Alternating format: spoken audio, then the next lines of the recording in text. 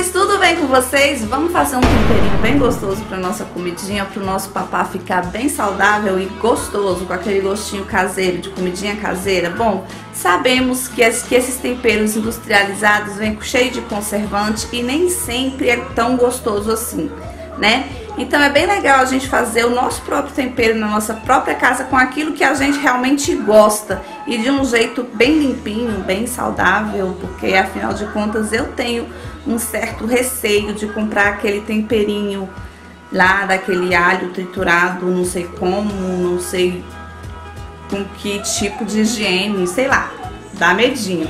Então, gente, é tudo bem rápido e fácil. Muita gente já faz, porque eu já ensinei nos vlogões da vida, né? Só que ainda muita gente me pergunta, Madai, que vlogão que tá a receita do temperinho? Eu nem eu sei, gente. Então vamos tirar do vlogão e vamos fazer um vídeo especial só pro nosso temperinho também, tá bom? Atendendo aos vossos pedidos. Então no meu temperinho, gente, eu vou usar alho. Aqui eu tenho dois saquinhos de alho. Eu vou usar cebola. Eu não vou usar tudo isso, tá? Vou usar um pimentão que tá até congeladinho, que eu acabei de tirar do congelador. Vou usar cheiro verde, que no caso é o coentro e a cebolinha, sal, óleo e vinagre.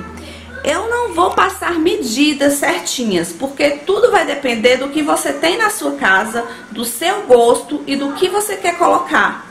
Então, de repente, você gosta de uma comida mais apimentada. Então, pode colocar pimenta, Madá? Pode colocar pimenta, pode colocar ervas, especiarias. Então, tudo depende.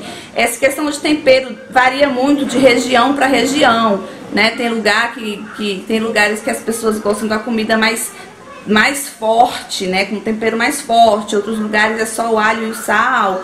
Então isso varia do seu gosto. Eu tô passando para vocês a ideia de como eu faço meu tempero que, que eu faço, é, guardo na minha geladeira e dura assim um mês inteiro e fica mais fácil, facilita a minha vida na hora de preparar meu, meu alimento. É uma ideia para vocês, tá bom? E através dessa ideia que vocês possam usar o que vocês têm na casa de vocês e o gosto de vocês e da família de vocês para fazer o seu próprio tempero. Tá joia? Então vamos lá? Vem comigo.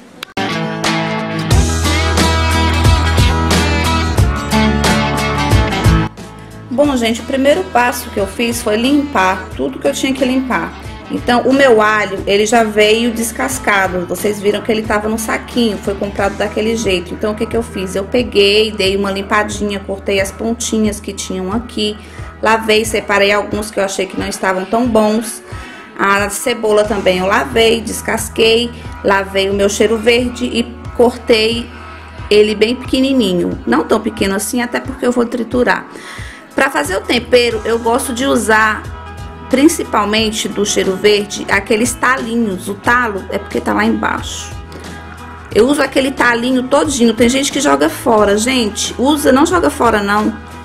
Porque tem gente que não gosta de colocar, né, na comida o talinho. Então aproveita para fazer o tempero. É tão bom quanto a folhinha. Aí as folhinhas eu reservo, vou usar algumas folhinhas aqui também, claro, mas a maioria eu reservei e congelei para ir usando na, na minha comida, tá bom? Aí aqui tem o alho, meu pimentão também aqui já tá limpo e cortado, ele tá molinho porque ele tava congelado. Aí ali tem tudo separado. Eu vou usar, gente, o meu multiprocessador. Ah, Madá, mas eu não tenho multiprocessador. Você vai usar o seu liquidificador sem problema nenhum. Vai ter, vai ter o mesmo resultado, tá bom? Então vamos começar. Deixa eu só colocar vocês aqui no lugar quietinho. Bom, eu posso colocar tudo aqui logo de uma vez e bater, ou eu posso ir colocando aos poucos. Eu prefiro ir colocando aos poucos, tá? Então, vamos lá. Primeiro eu vou colocar o alho, tá? vou colocar o meu alho aqui. Tem que ligar, senão não funciona.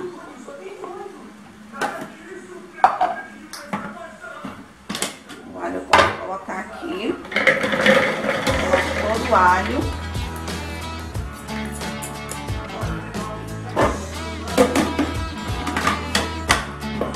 já li.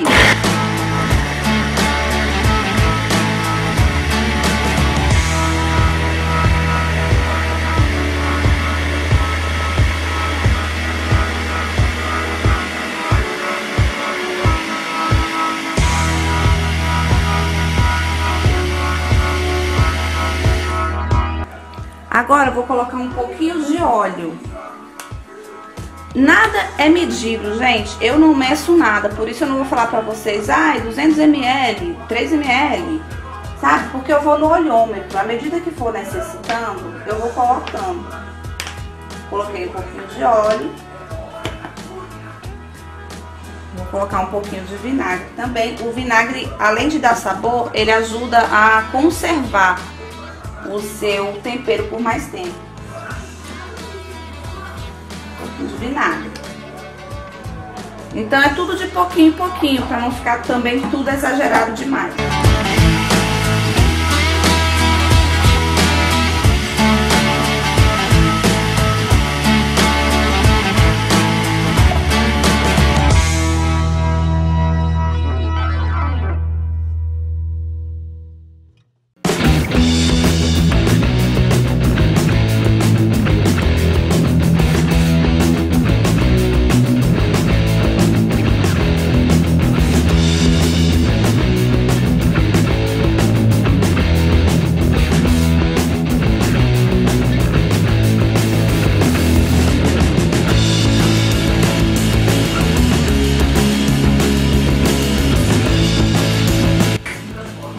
Colocar agora o sal.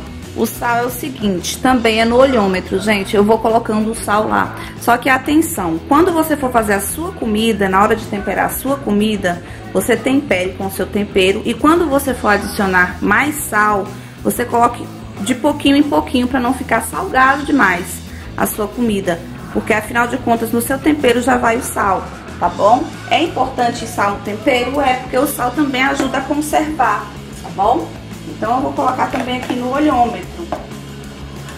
Isso aqui é uma colher de sobremesa.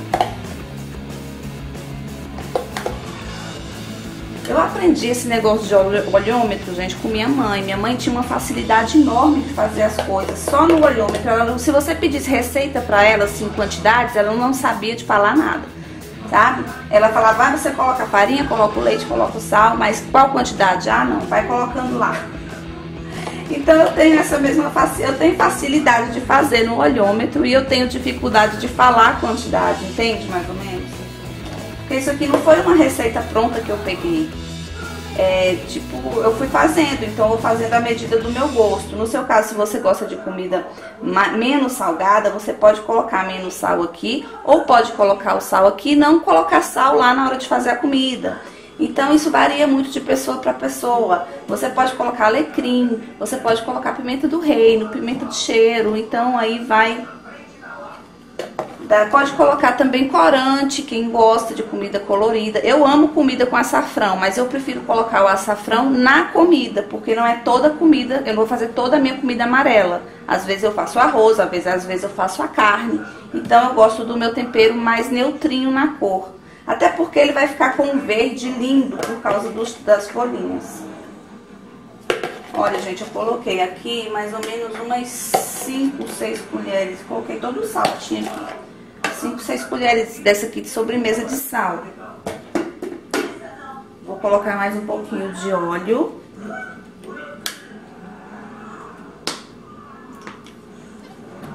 E mais um pouquinho de vinagre.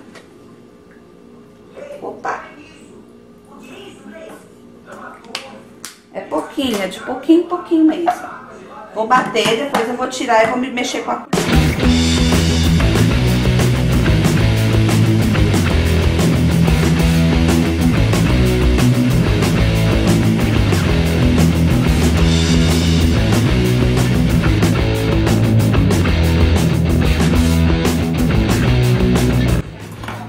Olha só, gente, eu gosto quando ele fica assim bem pastoso.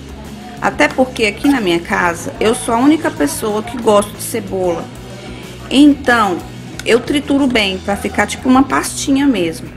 Tem quem prefira deixar os pedacinhos. Aí também é aquela coisa, é a gosto do freguês, né? Se você gosta de encontrar aquele pedacinho de alho no meio da sua comida, então você não precisa bater tanto assim, tá? Então, aqui já tá ótimo, já tá numa textura que eu gosto. Então, eu vou colocar aqui agora só o cheiro verde e vou finalizar o meu tempero.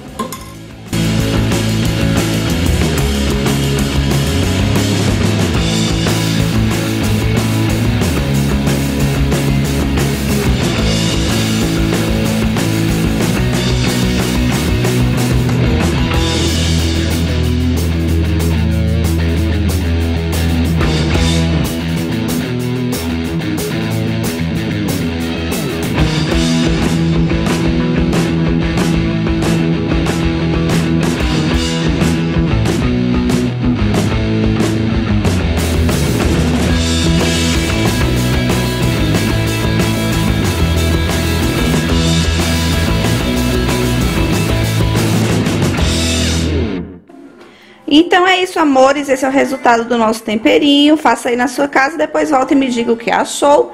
Espero que tenham gostado. Beijo, beijo, beijo. Tchau, tchau.